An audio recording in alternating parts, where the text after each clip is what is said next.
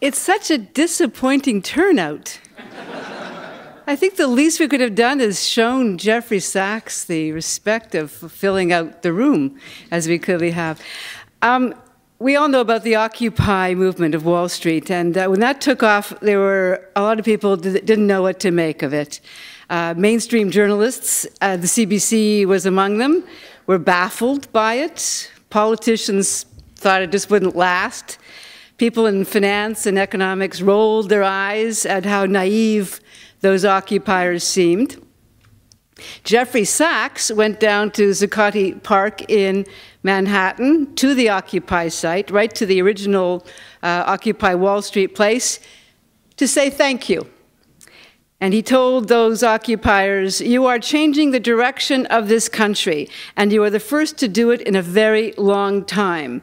You got the right message. We, are, we really are the 99%, and the 1% doesn't get it. So keep telling them the truth. They are a little slow, but they will eventually get it. Jeffrey Sachs is the director of the Earth Institute at Columbia University, a special advisor to the United Nations Secretary General Ban Ki moon.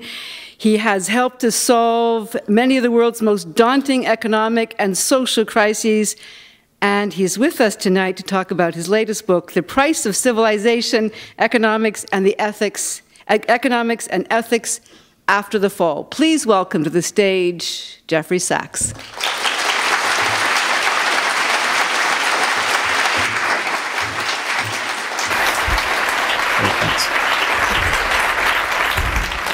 Jeffrey Sachs, welcome to Toronto, welcome to Canada. I'm delighted to be here. When this uh, Occupy movement began, you clearly wrote the book before it because there's no reference to it but it's so prescient. I mean, even the language that the young people are using in the Occupy movement is the language of your book. I mean, you could actually offer this as the manifesto for the Occupy movement. What did you think when you first heard that battle cry, when they first went down to Zuccotti Park? I thought good stuff, you know, uh, way overdue. I turned my book in uh, early uh, 2011, so uh, uh, the Occupy movement uh, started several months later, but the last chapter of this book, called The Millennials, said that if we're going to have a turnaround, it won't come from my baby boomer generation, it's going to come from young people. And uh, I feel even more that that's the case now. the baby boomers, that's me, that's us. I'm, I'm on the young side of the baby boomers say Bill Clinton's on the older side of the baby boomers, um, I don't think we did a very good job. Uh, this was the generation of affluence, uh, and it became uh, pretty greedy and short-sighted in terms of politics and policy, and uh, it has created one big mess.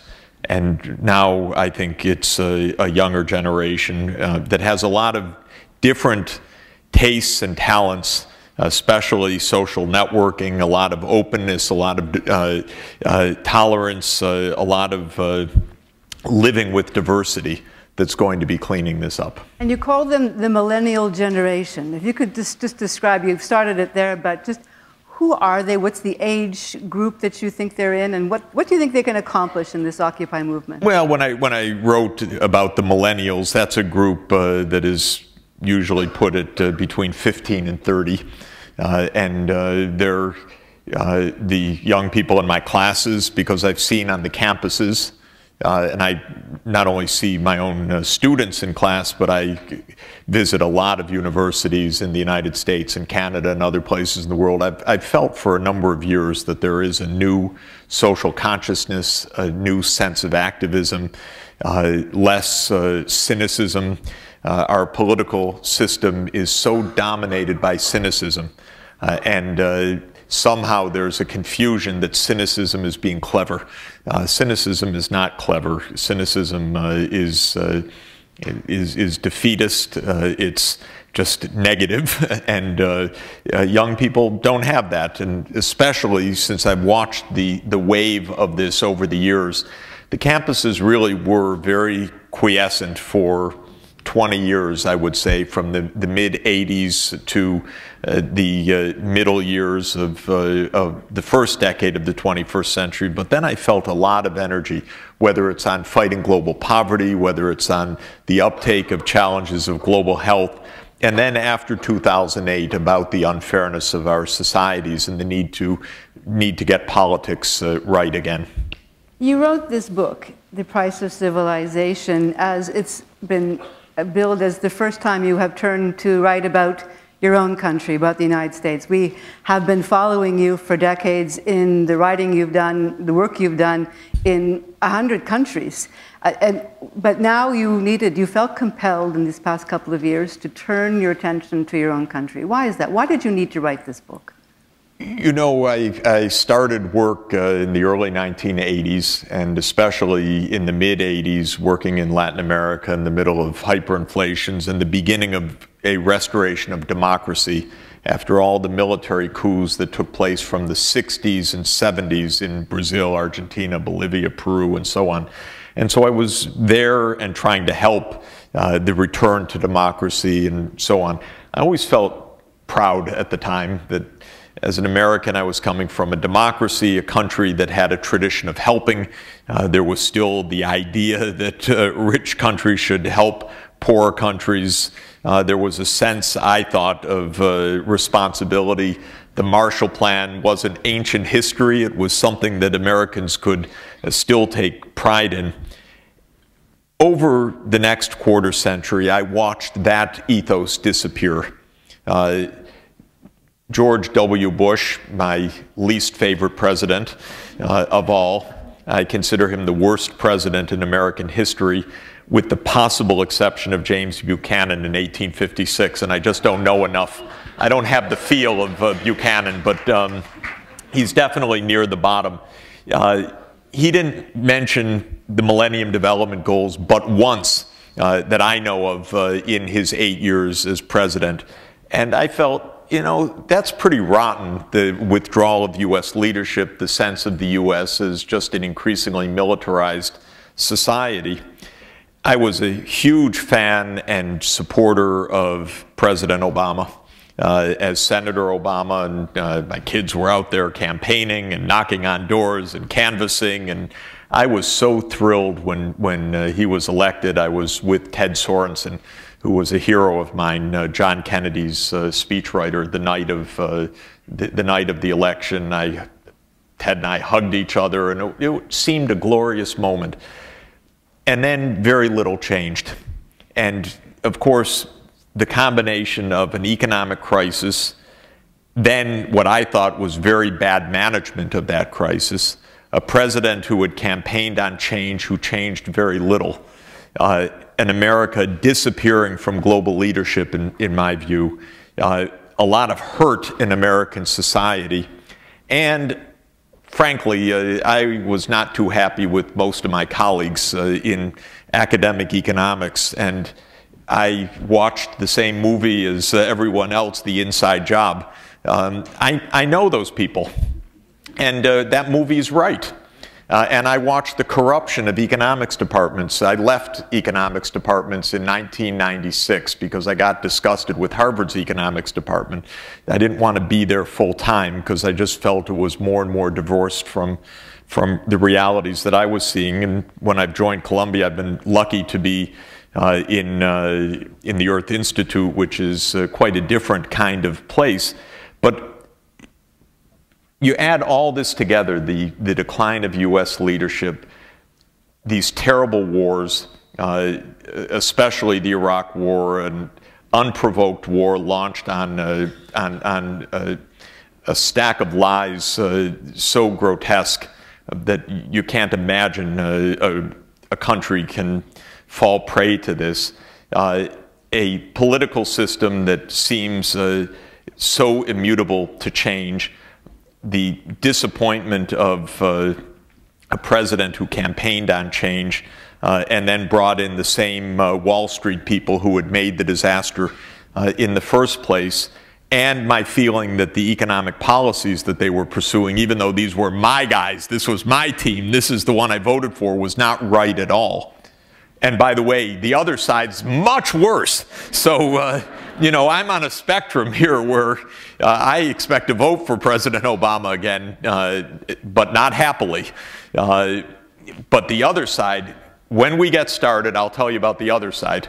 Uh, it's absolutely unbelievable uh, that what would have been a fringe really a fringe is now one of the two main political parties in the United States, and it's just a party of greed and nastiness to the core. And so all of that is to say, God, I had to figure out what's going on in my own country. It's not that our crisis is anywhere as deep as uh, as uh, the Horn of Africa, where I spent a lot of my time this summer. People are starving to death there. Uh, there are much worse economic conditions elsewhere. The basic reason why I went into international economics still holds for me, which is the the most life and death problems are abroad, but the collapse of decency in the United States, the rigidity of the political system, the continuity between a, a Bush and an Obama, shocking. Uh, the, the fact that without U.S. leadership, the world is also in a mess. Not that the U.S. was getting much right, but the withdrawal of the U.S. from these issues is a very dangerous thing, but it's so palpable if you see like I do. I go to the G20 summits, I go to, I see all of it up close, and it's amazing to me the incredible disappearing superpower. The last thing we're holding on to is our military bases and our wars, but everything else we're basically giving up right now. So you got to write. I mean, you have to try to figure out what's going on in, in, in a context like that. You write in your opening line, it, you say, there can be no doubt that something has gone terribly wrong in the United States. And that you trace that not, you go, it's not 2008, the financial crisis, it's not Obama, it's not eh, George Bush. Where you trace the root of where this turn happened, where the beginning of what you believe this malaise comes from, goes into the 70s and early 80s and begins, you lay most of it, that beginning, the roots of it, at Ronald Reagan's feet. If you could just tell us why, where you think it happened. When did the turn happen where the United States lost this, its soul, I guess? You know, I'm really not partisan, though I tend to vote, you know, for Democrats, but I'm not looking for a job in Washington, and I'm not uh, out to game or to spin the American politics. And so I'm pretty disgusted with both sides, actually, though I have to keep rem reminding everyone one side's really bad, the other side's just profoundly disappointing. Uh, but, you know, as I was thinking about what to write, I was going to write about the 2008 financial crisis. Then there were two problems with that. One problem was about 50 books appeared in the first three weeks. Okay, uh, that's fine. But, but the deeper problem is the crisis obviously had its roots uh, in a bubble that started way back when. And, and it had its roots in, in Bill Clinton uh, and uh, what he represented. You know, another one of my side. Uh, he was the one that brought uh, Bob Rubin to be, you know, straight from Goldman Sachs chairman to the White House. Not good. Uh, and uh, then to have Rubin write the deregulation of Wall Street and then to join Citigroup as number two, the very firm that he enabled, then to make $126 million, then to sit next to Obama, candidate Obama, the day after the financial crisis broke. Not good, you know? Really not good. But that takes us back, back, back. Where did this start? How did this happen? Now, of course, America's always been a country of money and politics. We've had our scandals, our crises, and so on. But truly, it's not just the imagination of a, uh, you know, uh, a uh, young person growing up in the Kennedy uh, age. America was different at a time. We actually took on big goals. We, we had a president, Lyndon Johnson, who made a war on poverty. Unthinkable in America right now. Really unthinkable. We, have a war on the poor. I mean, really a war on the poor. And we have candidates disdaining the poor. You don't have a job, get a job. That's kind of the attitude of Herman Cain. You know, a man, nobody is less equipped to be president of the United States than this man. And he's a leading candidate. It's unbelievable. Okay, you have to figure out what happened. Now, my take on this is that things really started to go wrong in the 1970s. Uh, again, there's an accidental problem, which was Richard Nixon, but I'm not even talking about that. That's a phenomenon of its own. Uh, but that's actually not the problem. The problem is that I think the 1970s was the beginning of a new world economy for all of us, for Canada, for the United States. It was the beginning of real globalization. And mind you, I'm a kind of fan of globalization because in its best impulse, globalization means that good ideas and technology and the chance for improvement spread all over the world. And I've watched actually with my own eyes since I first visited China in 1981. It's been 30 years of watching the most remarkable growth of an economy of 1.3 billion people that the world has ever known. And I think it's actually quite marvelous with all its problems. But it's tough globalization. It changes everything about our economies. And in the US, for example, already starting in the mid 1970s, the earnings of full time male workers reached their peak because the competition from abroad meant that the traditional route to the middle class, graduate high school, maybe spend another year of uh, further classes, go to the local factory, buy a, a, house in, in the suburbs. That was the American way after World War II. That closed down already by the mid 70s. 1979 was the peak employment in manufacturing in the United States 19 million jobs in manufacturing. Now we're at about 10 million. That's globalization to a very large extent. Okay, there are good sides, but there's dislocation. The job of government is to make sure that a phenomenon so deep and so powerful can be shared on the beneficial side by everybody. That if you need new skills, new training, new kinds of education, new infrastructure, new technologies, that society as a whole shares in the benefits. That's what a normal political system would do. But we didn't get a normal political system. We got Ronald Reagan. That was a game changer. Of course, as I emphasize in the book, Reagan represents deeper phenomena. It's not just an individual. But Reagan said something that I think is absolutely fateful, uh, awful for America. He said it on January 20th, 1981, his inauguration day. He said, Government is not the solution to our problems, government is the problem the famous statement. My response to that is if you believe it, please don't run for the presidency.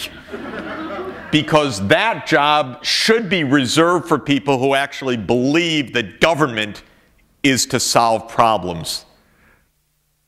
What Franklin Roosevelt called the instrument of collective purpose. That's what government is for. But we had globalization starting to create inequality in America. And then comes government and absolutely doubles down on these tendencies by having a president who says, we're not going to help. Not only that, we're going to slash the top tax rates from 70% to 28%. And we're going to slash social programs at the same time because we don't believe in them.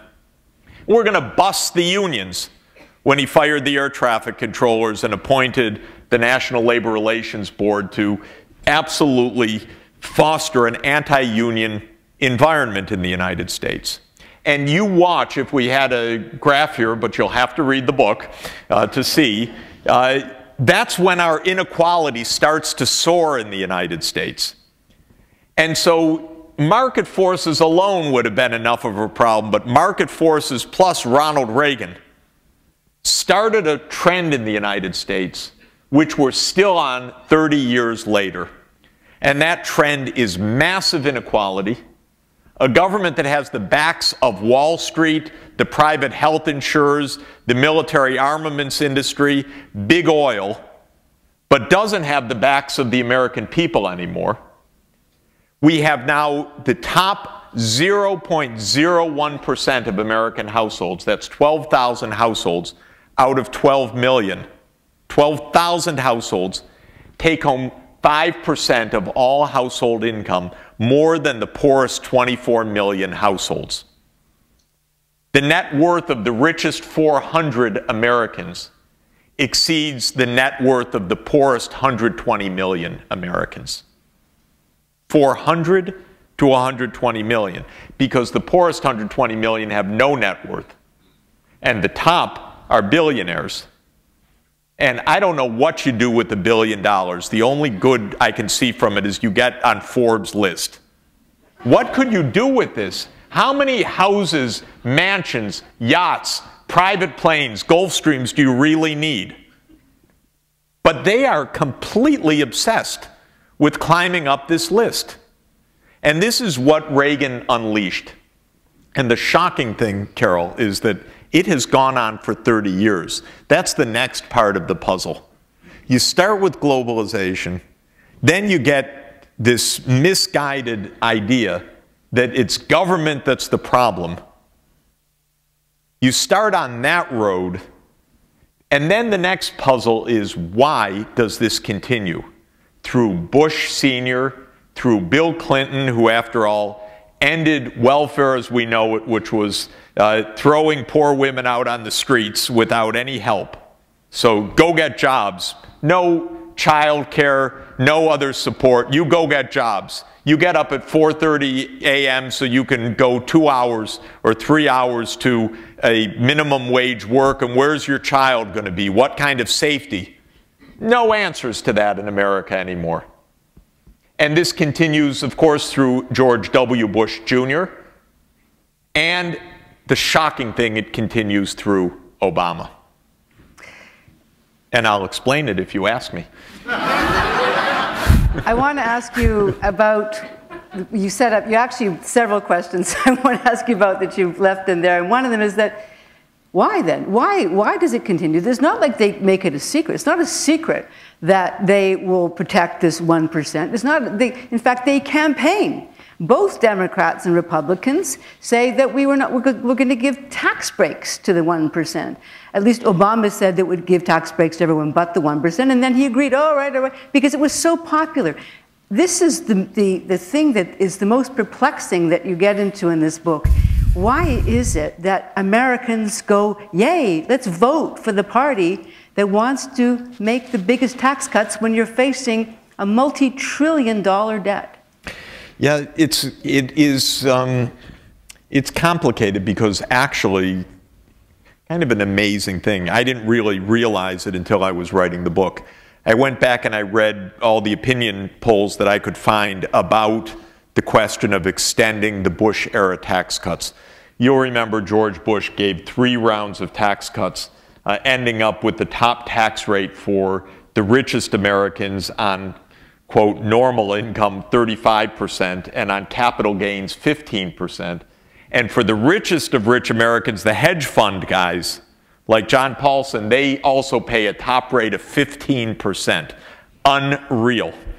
It's called carried interest. It's, don't even try to theorize about it. It's just purely the corruption of American politics nothing more than that. Now, the interesting thing was the following. These tax cuts were made to last 10 years when they were written, and the 10 year period ended in December 2010. So, uh, Obama and, uh, and, and uh, Congress were discussing, negotiating what should be done. President Obama said we need to keep the tax cuts for everybody except the top, the, the very top, uh, and we'll let that bracket go up to 39.6%. By the way, not very impressive when the big gap between your two political parties is 4.6 percentage points of, of uh, rich people's uh, top tax rate. But then, lo and behold, they extended it. Period. I happened to be in the White House the next day. I can tell you they were not unhappy with that agreement, by the way. Whatever they said, they were not unhappy. Eh, the president said mm, it was hard. We didn't have, you know, Democrats. It was kind of divided. His aides were, didn't you see that deal we got? Because they were so happy they got more stimulus of tax cuts and a payroll tax cut. They thought they had a great deal.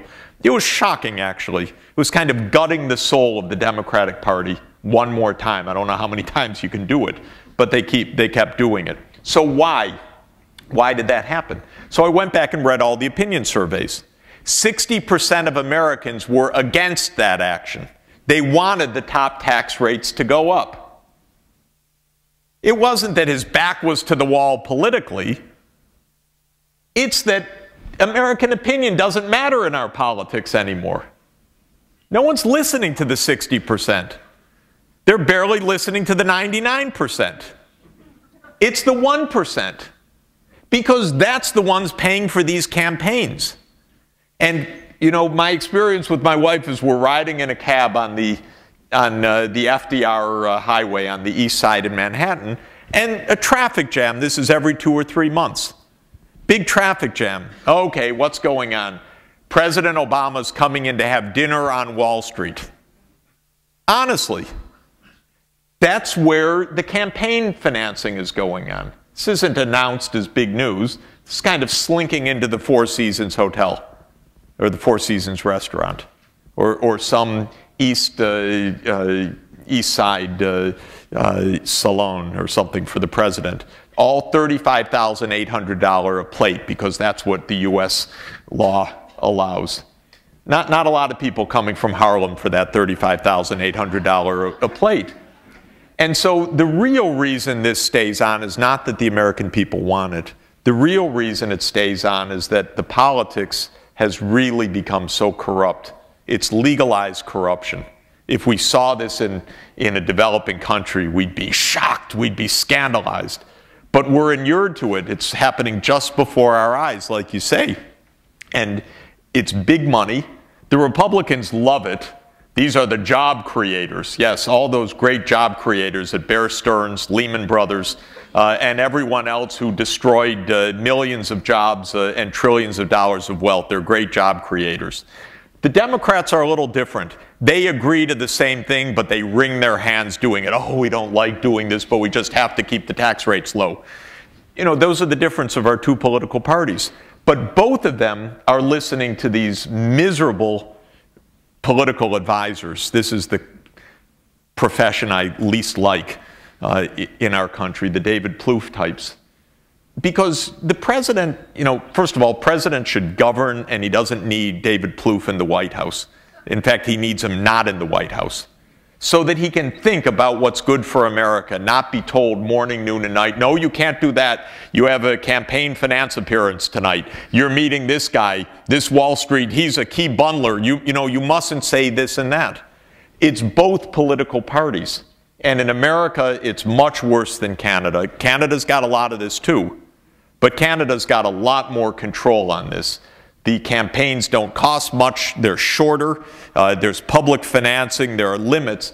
This cycle coming up for 2012 is expected to cost between six and seven billion dollars at the federal level.